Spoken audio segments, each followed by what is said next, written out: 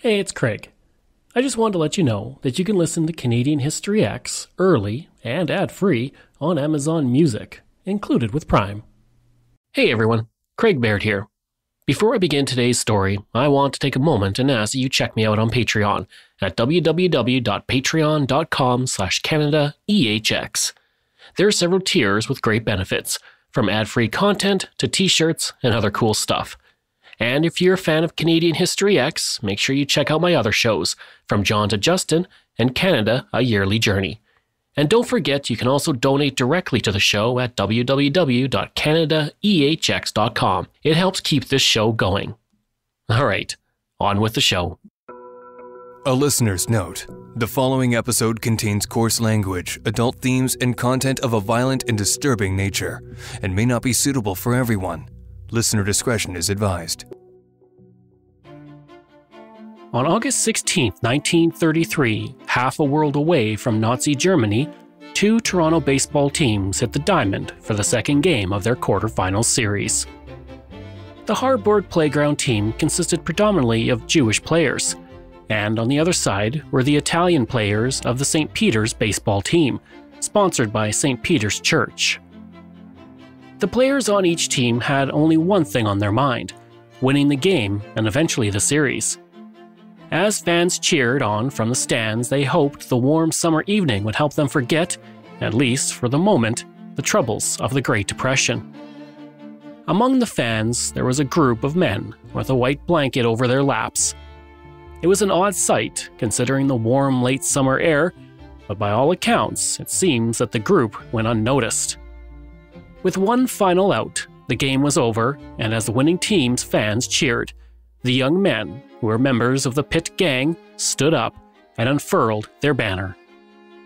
Emblazoned on it was a homemade swastika, the symbol of Nazi Germany, and as they rose, the young men yelled, Hail Hitler! That moment ignited one of the worst riots in Canadian history over 10,000 people took to the streets, many of whom wielded baseball bats, lead pipes, and other improvised weapons. Dozens were injured, and it laid bare underlying anti Semitism and xenophobia among Anglo Canadians. Yet, the Christie Pits riot is mostly a forgotten memory. That is, until today. I'm Craig Baird, and this is Canadian History Ehx. To understand what happened that mid August day in Toronto in 1933, I have to take you across the pond to Germany in January 1919. That's when Anton Drexler founded the German Workers' Party to discuss political matters at a beer hall in Munich. After World War I, the city was politically unstable, and people were inclined to support new ideas that advocated extreme change, which included nationalism and extreme anti Semitism. A year later, that party became the National Socialist German Workers' Party, more commonly referred to as the Nazi Party. By the early 1930s, the Nazi Party was on the rise thanks in part to propaganda aimed to exploit people's fears of uncertainty and instability. Jews and communists were featured heavily in Nazi propaganda as enemies of the German people. Then, in the 1932 election, the party won the popular vote and Nazi leader Adolf Hitler formed a coalition government with the German National People's Party. On January 30th, 1933, Hitler was appointed as Chancellor of Germany. A month later, the Reichstag, the home of the German government, was burned, and Hitler proclaimed the fire was the start of a communist uprising. Just a day later, on February 28th, most civil liberties were suspended, and through the next six months, the party consolidated its stronghold over the German people. By July 14, 1933, the Nazi Party passed a law making itself the sole legal party in the entire country. Meanwhile, the world was mostly ignoring this changing political landscape in Germany. That's because 6,472 kilometers away in Toronto, Canadians were focused on their own struggles, namely the Great Depression. Unemployment was at a record high, wages were low, and possibly, worst of all for some, the Toronto Maple Leafs had lost in the Stanley Cup final against the New York Rangers in April of that year. Nazi Germany was not on the top of minds of most Toronto residents, except for the Jewish residents, who were worried by the troublesome news stories. The Toronto Telegram and Toronto Daily Star reported that Jewish people were losing their jobs in Germany and they were becoming targets for violence. Some Jewish residents had only just arrived in Toronto, fleeing Germany a year or two before, sometimes leaving their family behind. At the time, Jewish residents were the largest minority in Toronto, which made them a target because of anti Semitism, which was a part of their everyday lives in Canada. Fueled by xenophobia, some hotels wouldn't allow Jewish residents to stay in their establishments. Bell Canada wouldn't hire Jewish individuals, and Eaton's would only hire Jewish people to be tailors. Only one Jewish man, Henry Nathan Jr., had been elected to Parliament between 1867 and 1933. Toronto itself wouldn't see its first Jewish mayor, Nathan Phillips, for another two decades. The Jewish community in Toronto was mostly working class, and during the hot summers, families enjoyed visiting the beaches area, which was predominantly Anglo. Some of these residents did not look favorably upon the Jewish visitors to the beaches. That's because during the Great Depression, some Canadians looked for scapegoats to blame for the economic hardships, and along with anti Semitism, anti immigration sentiment intensified. With that in mind, and considering what was happening in Germany, a swastika club was formed in late July 1933. Its symbol was, of course, the swastika. Today, the swastika is almost exclusively associated in the Western world with the Nazis, but it is a symbol that is almost as old as civilization itself. The earliest known swastika dates to 10,000 BCE, found in Ukraine. The symbol has been found across the Eastern Hemisphere often associated with deities.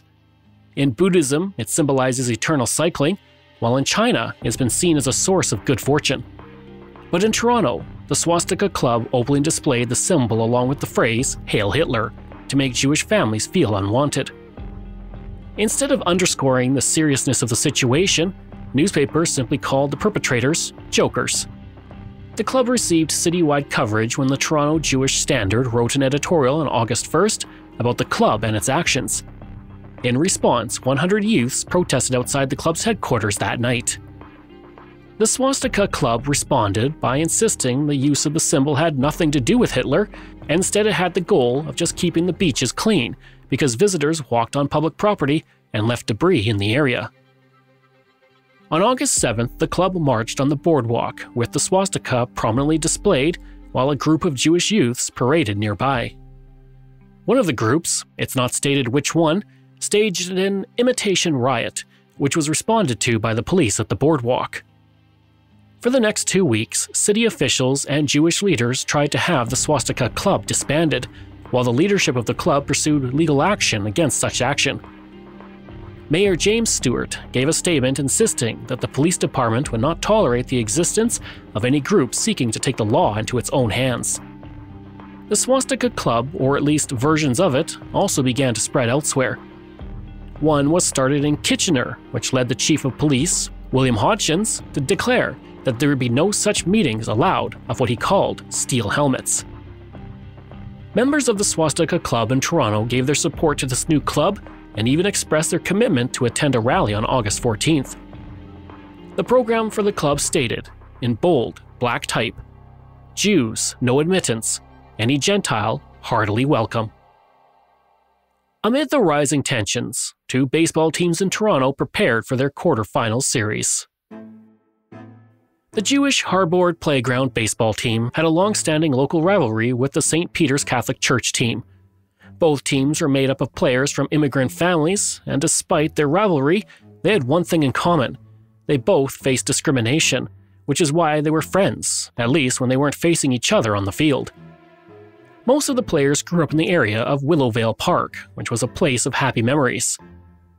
Willowvale Park, as it was known until 1983, is a 21.9 acre recreational site consisting of baseball diamonds, a football field, picnic sites, and basketball courts. Located in Toronto's West End near the Christie subway station. This was the set for the first act of the drama that was about to unfold on August 14th, when the two baseball teams met for the first game of their series. By this point, the story of the Swastika Club had spread throughout the city, and many xenophobic residents sympathized with the club. During the game, a few people in the stands waved a 5 foot wide swastika banner, and while tensions were high, the game finished without incident, with the Jewish Harbord playground baseball team coming out the victor. That evening, a group of individuals returned and painted Hail Hitler on the roof of the clubhouse. A letter was then sent to the Toronto Daily Star stating they wanted the Jews out of the park. Two days later, the teams met for the second game of the series. Neither side could have known when the first pitch was thrown that the day would end in infamy. Last out of the game was just registered. The winning team's fans cheered. A group of young men who were members of the pit gang unfurled a banner with a swastika front and center. Amid cries of Hail Hitler, violence broke out. The Jewish baseball players were likely aware of the rise of Nazism. Some may have even had family in Germany. They might have not been able to oppose oppression in Europe, but they would fight at Christie Pits against Nazism. Joining them were over 100 Jewish youths who were there to cheer on their team and possibly to prevent what had happened in the first game. The players on the Jewish team fought for control of the swastika banner against the pit gang who were attacking the Jewish baseball players. This ignited the ire of the Italian players who joined the melee to defend the Jewish players. Before long, the pit gang was vastly outnumbered. Muri Kurgel, an 18 year old youth member of the gang, fought for control of the banner and held it up for the crowd in defiance. Two police officers soon arrived and took him to their patrol car and had to stand guard to prevent him from being pulled out of the vehicle by the growing crowd. The players then tore the banner to shreds. As the brawl spread outside of the ballpark, youths wielding clubs, pipes, baseball bats, or just their fists joined in the fight. The Toronto Daily Star later reported the crowd grew into a rioting mob the size of over 10,000 people, where Scores were injured, many requiring medical and hospital attention. Heads were opened, eyes blackened, and bodies thumped and battered as literally dozens of persons, young and old, many of them non combatant spectators, were injured more or less seriously by a variety of ugly weapons in the hands of wild eyed and irresponsible young hoodlums. Police were overwhelmed by the scale of the riot, and reinforcements were called in on horseback and motorcycles. To disperse the crowd, officers used billy clubs and even exhaust pipes from their motorcycles. But it was to no avail as the riot raged through the evening and into the night. But thankfully, by morning, the violence had stopped and quiet had returned to the streets. No one was killed in the melee, but for the next 24 hours, the walking wounded arrived at Toronto hospitals to receive medical attention. 15 year old Joseph Goldstein had only just finished playing a lacrosse game. He was trying to get to his brother's home and was making his way through the crowd when he was hit in the head with a baseball bat. 22 year old man, Joe Brown, had not been at the park and had not taken part in the baseball game.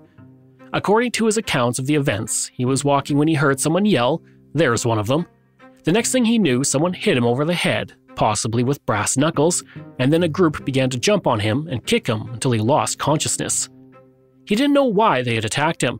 He had nothing to do with the riot. The only motive he could think of was that the group was looking for Jewish people. He was Jewish, so he was attacked. Al Eckler was walking with a friend near the park when a car drove up to them. Seven men got out and attacked him with a bat, leaving him with a scalp wound that required stitches. David Fisher, another Jewish resident, heard someone challenge him to a fight, and he accepted. The next thing he knew, four youths surrounded him, and he was hit with a lead pipe. Dizzy and bleeding heavily, he ran away as they yelled anti Semitic slurs at him. An emergency session of the Toronto Police Commission was held in the evening of the riot, out of worry there would be further riots at other parks in the city, but thankfully there were none. And despite the size of the riot, there were few arrests, and there are reports that Toronto Police Chief Dennis Draper knew about the potential for a riot and did nothing to stop it. Looking back, you might wonder why that would be the case. Well, remember that during the Great Depression, police were more concerned with socialism and communism than fascism. Unions were on the rise, and the government labeled many of these groups as agitators, bent on bringing down the established order. Now, as I mentioned, there weren't many arrests, only two were charged, and Jack Roxborough was the only conviction. He was sentenced to two months in prison or $50 in fines for standing over a prone man with a raised club. The mayor soon banned the display of the swastika in public. This became one of the first policies in Canadian history to prohibit hate speech. He also asked those who saw swastikas to restrain themselves and not resort to violence, and he told the press the trouble was greatly exaggerated. In the aftermath of the riot, there was an increased police presence around Christie Pits for several days. Police on motorcycles and horses patrolled the streets to prevent any further conflict. The Radical Squad, which was created to deal with any groups deemed radical or revolutionary, was also deployed to the park for several days. At one point, crowds did begin to gather, but police reserves quickly dispersed them, but not before a young man yelled, Hail Hitler, as he drove past a girl. Within days of the riot, a new swastika club had formed in East Toronto from former members of the Beaches Swastika Club. Members stated their aim was to campaign against Jewish residents, whom they felt used deceit in business dealings to hinder the advancements of Anglo residents. On the east end, across the city from Christie Pits, eight swastikas were painted on a fence at Convoy Park, and a baseball game, which included a Jewish team, was postponed as a result and no more troubles were reported. To this day, the Christie Pits riot remains the largest anti Semitic riot in North American history. And when Canada joined the Second World War, there is documentation that shows people on opposing sides of the riot fought side by side against the Nazis and the atrocities being committed across Europe. That's the end of the Christie Pits riot story, but stick around for two more facts that you may not have known about this moment in Canadian history. Willowvale Park, or as it became known, Christie Pits, is named in honor of William Mellis Christie, co founder of the Christie and Brown Cookie Company, who you might simply know as Mr. Christie. The park and the ride is also featured in one of the signature songs by the Tragically Hip. The song, Bobcaygeon, was released on the band's 1999 album Phantom Power and won the Juno Award for Single of the Year. There is a town with the same name in the Kawartha Lakes region, and it's become a mythical place in Canada's collective imagination as a symbol of the cottage country paradise. But when you listen to the lyrics, the song tells the tale of a police officer who is stressed at his job and ponders quitting, and he unwinds on the weekends by spending time in the cottage oasis of Bobcaygeon. Next time you listen, Pay close attention to the song's bridge when Gord Downie sings, That night in Toronto, with its checkered board floors, riding on horseback and keeping order restored, till the men they couldn't hang stepped to the mic and sang, and their voices rang with that Aryan twang. These lyrics relate to racism and anti Semitism. The Men They Couldn't Hang were a British folk band whose song, Ghosts of Cable Street, is about the Battle of Cable Street in London in 1936. And like the Christie riots, it was a battle between the fascist and anti fascist supporters. And that place with the checkerboard floors? That's the Horseshoe Tavern on Queen Street, which just happens to turn 75 years old this year. Thank you for joining me on Canadian History Ehx. Information from Canadian Encyclopedia, Canada's History, Maclean's, Museum of Toronto, CBC, Hogtown Collective, Toronto Star, Montreal Star, Windsor Star, Ottawa Citizen, and the Sault Star. This show is researched, produced, and written by me, Craig Baird, with the help of Dila Velasquez. Audio design and production by Rob Johnson. If this is your first time listening and you like what you heard, please take a moment and give us a five star review to help other people find these amazing stories and there are so many you can sink your teeth into. We also love hearing from you, so if you have a show topic you want me to cover, email me at craig at canadaehx.com or stop by my website and social media. I'll include all of those links in the show notes. Until then, I'm Craig Baird, and this is Canadian History Ehx.